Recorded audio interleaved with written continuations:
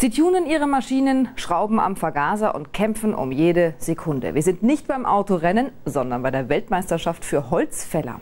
Schnelligkeit, Präzision, Kreativität und auch Kraft. Wer der Champion an der Motorsäge werden will, der muss als komplette Mannschaft für mehrere Disziplinen hart trainieren. Und die Deutschen sind die Favoriten. Wettkampffieber im Freizeitpark Tripsdrill in Baden-Württemberg. 130 Waldarbeiter, die Besten aus 30 Ländern treten an, um ihren Weltmeister zu küren. Bei der letzten WM in Estland hat die deutsche Mannschaft knapp die Goldmedaille verfehlt. Diesmal will sie aufs oberste Treppchen und er soll es richten. Marco Traber. Bei der ersten Disziplin heute muss er einen Baum fällen. Bevor die deutsche Mannschaft dran ist, legen die Österreicher bei der sogenannten Zielfällung vor. Sie ist die schwierigste von insgesamt fünf Wettkampfstationen. Jeder Starter der dreiköpfigen Mannschaft muss einen Baumstamm in weniger als drei Minuten möglichst punktgenau zu Fall bringen. Verfehlt der Stamm sein Ziel, gibt es Punktabzug. Das schmerzt, denn in keiner anderen Disziplin gibt es mehr Punkte.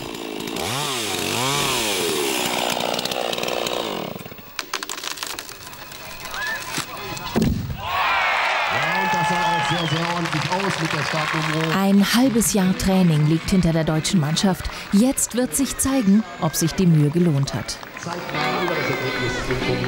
Ich hoffe, dass der Baum gut fällt und äh, dass er den mittleren Flock zerschmettert und genau mittig liegt. Knapp 20 Meter lang, reichlich 1000 Kilo schwer. Die Wettkampfstämme aus Fichtenholz sind genormt. Trotz einheitlicher Norm, 100%ig gerade ist kein Stamm. Steht top. Ja, man muss den Baum schon richtig ausloden, dass man wirklich die, die Mittelachse hat von dem Stamm. Und wenn ich dann vorne meinen Fallcap unten ansetze, und, äh, also die Fallcap-Sohle, das zeigt dann im Endeffekt an, wo der Baum hinfällt. Und das ist entscheidend dann, steht der Baum gerade, ist er krumm, ja, hat er irgendwo eine, eine Neigung irgendwo hin, muss ich vielleicht den, die, das Ziel überhalten irgendwo mit, mit meinem Visier. Aber der passt so und dann ziele ich genau auf den Block drauf. Jeder Starter einer Mannschaft wird einzeln bewertet. Für die Mannschaftswertung kommen später alle Punkte in einen Topf. Nach zweieinhalb Minuten fällt der erste Stamm der Deutschen. Aber er verfehlt das Ziel. Und damit gibt es nicht die volle Punktzahl. Als letzter Starter muss Marco die verlorenen Punkte wettmachen. Das ist jetzt meine Axt, mit der ich den Keil reintreibe, dass auch äh, äh, zum Schluss dann der Baum fällt. Da habe ich einen Keil, einen Plastikkeil, mit dem ich dann den Baum umkeile, der nicht vorher schon kommt. Und da haben wir nochmal zum Stammfuß freimachen nochmal eine Axt, wo man einfach das, den Dreck schön frei machen kann, schön wegmachen kann. Jetzt starte ich hier, ja? Ja, ja, ich dir gerade in der Startlinie und dann darfst du. Okay. In zwei Metern Entfernung zum Stamm muss der Wettkämpfer in Position gehen.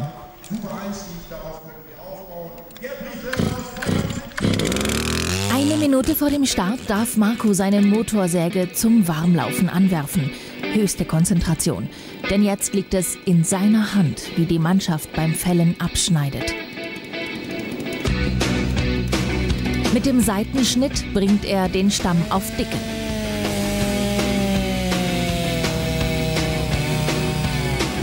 Der nächste Einschnitt, knapp über den Boden, entscheidet, wohin der Stamm fällt. Über die Markierung an der Motorsäge peilt Marco den Flock im Zielgebiet an. Damit weiß er genau, in welchem Winkel und wie tief er den Stamm einschneiden muss.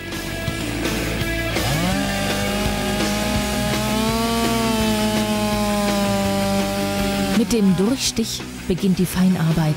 Der Baumstamm bekommt über dem ersten Schnitt ein Scharnier eingesägt. Das sorgt dafür, dass der Stamm beim Fall nicht verkantet und damit vom Ziel abkommt. Millimeter sind entscheidend, damit das Scharnier wirkt.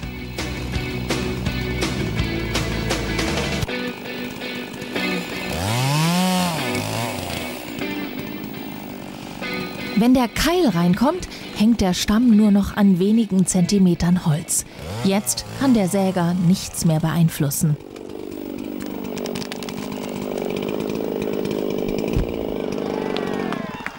Marco hat den Mittelpflock nicht getroffen. Damit gibt es auch für ihn nicht die volle Punktzahl.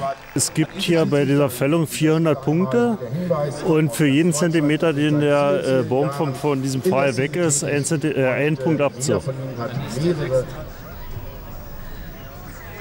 24,2. 25,2. Die letzten 30 cm ist irgendwo, da gehört noch ein bisschen Glück dazu. Die letzten 30, 25 cm, wenn man dann Glück hat und das passt an dem Tag, dann passt es auch. Aber das hat jetzt ein bisschen gefehlt, aber okay. Ja, ja, klar. Nee, das Tag 2 bei der Weltmeisterschaft der Waldarbeiter in Tripstrill. Heute stehen die Wettkämpfe im Kettenwechsel und Holzschnitt auf dem Programm. Disziplinen, bei denen es neben Schnelligkeit und Geschick auch auf millimetergenaues Arbeiten mit der Motorsäge ankommt. Nach dem Kampf gestern müssen sich die deutschen Starter voll ins Zeug legen, um sich einen Medaillenplatz zu sichern.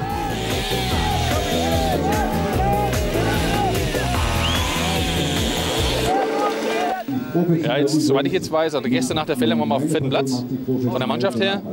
Und ja, jetzt müssen wir mal schauen, wie wir jetzt abschneiden und wo wir dann stehen. Ich hoffe, dass wir dann zum Schluss ein bisschen weiter oben stehen.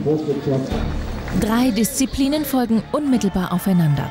In einer Stunde muss die Mannschaft damit durch sein. Am Anfang steht der Kettenwechsel. Ready, go! Trotz Schnelligkeit darf er sich keinen Montierfehler leisten, denn mit der Kette muss er die nächsten zwei Wettbewerbe durchlaufen. Der erste deutsche Starter schafft einen absoluten Spitzenwert, sammelt damit wichtige Punkte fürs Team. Nur wer hier unter 12 Sekunden bleibt, kann ganz vorne mitmischen. Auch Marco Traber will beim Kettenwechsel ganz nach vorne kommen. Im Unterschied zu den meisten Startern wechselt er die Kette mit Handschuhen. Eine Vorsichtsmaßnahme, denn für die kleinste Verletzung beim Wechsel gibt es Strafpunkte. Okay, Jetzt an. Da ist ready, go!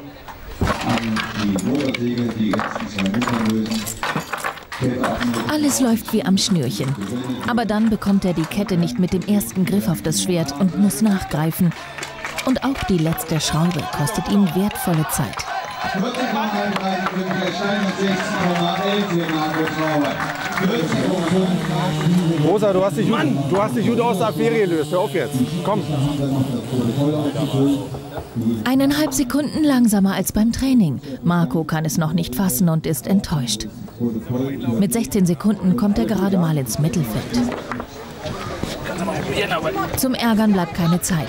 Unmittelbar nach dem Kettenwechsel steht der sogenannte Kombinationsschnitt an.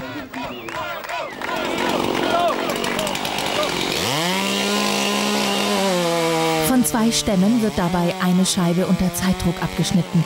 Um die Schwierigkeit zu erhöhen, muss die Säge zweimal angesetzt werden. Erst von unten, dann von oben.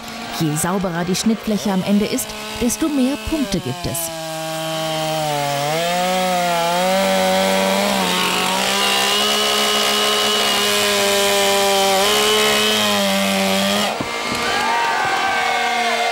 Beim Kombinationsschnitt läuft alles rund. Nach dem Patzer beim Kettenwechsel ist die Welt wieder in Ordnung. Sieht erstmal richtig gut aus. Alle vier Teilnehmer der deutschen Nationalmannschaft haben damit ihre Schnitte. Ja, das ist ganz gut. Sieht ganz gut aus. Äh, scheiß Kettenwechsel. Es hilft Ihnen vielleicht. Eigentlich nicht. Ich war zu hektisch, vielleicht ein bisschen zu hektisch. Wollte die Schiene reinschieben und dadurch ist die Kette ist mitgegangen und dann musste ich das schon wieder sortieren und das dauert immer eine Zeit dann. Ja, das ist Vorhin wechselst du es in 11 Sekunden und, und dann haust du da 16er Zeit hin. Das ist immer so ärgerlich. Dann, ne? Die Zeit beim Schnitt ist nur die halbe Miete. Zusätzlich kommt es darauf an, dass der Schnitt rechtwinklig geführt wurde. 89,6. Maximal ein Grad Abweichung zum rechten Winkel ist erlaubt, ohne dass es Punktabzug gibt. Das ist 0,4. Das heißt, er ist noch innerhalb von einem Grad. Bis jetzt hat er volle Punktzahl. Um sicherzugehen, dass der Schnitt sauber ist, messen und protokollieren die Schiedsrichter den Winkel an vier verschiedenen Stellen. Bei jeder einzelnen Messung darf er um nicht mehr als ein Grad abweichen. Nach den Winkeln nehmen die Schiedsrichter die Schnittfläche unter die Lupe. Da mit der Motorsäge von unten und von oben geschnitten wurde, gibt es auf jeden Fall eine Unebenheit in der Mitte.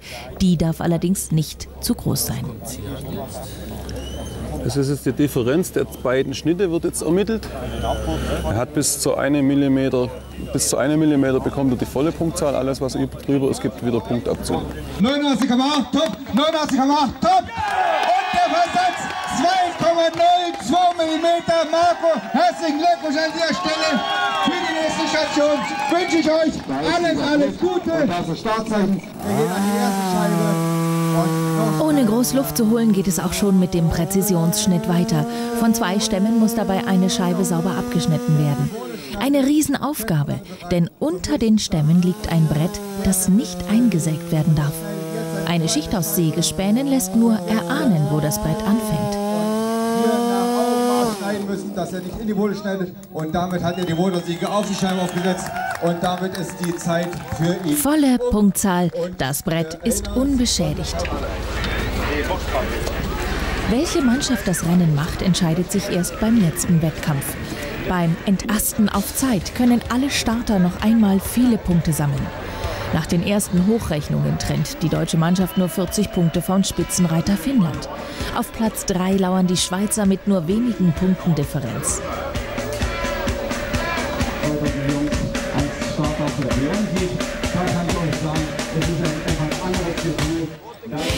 30 Äste sind auf den Hauptstamm montiert und müssen so schnell wie möglich runtergesägt werden. Aber nicht allein die Zeit ist entscheidend. Für jeden Stummel, der länger als 5 mm stehen bleibt und für jeden Einschnitt in den Stamm, gibt es Strafpunkte.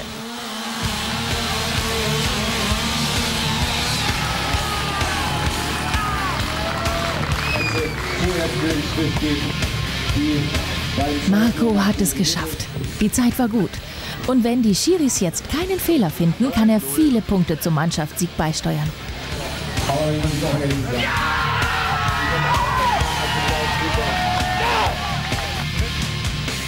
Als letzte gehen die Finnen und die Schweizer an den Start. Wer in diesem Jahr den Weltmeistertitel mit nach Hause nimmt, entscheidet sich nach diesem Wettkampf. Reichen die bisherigen Punkte der Deutschen aus? Banges Warten auch bei den Zuschauern. Aber dann, mit 50 Punkten liegen die Deutschen vor den Schweizern und sind neuer Weltmeister.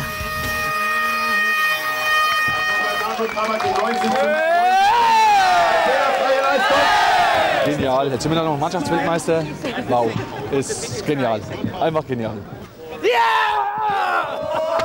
2010 geht's nach Kroatien, um den Weltmeistertitel zu verteidigen.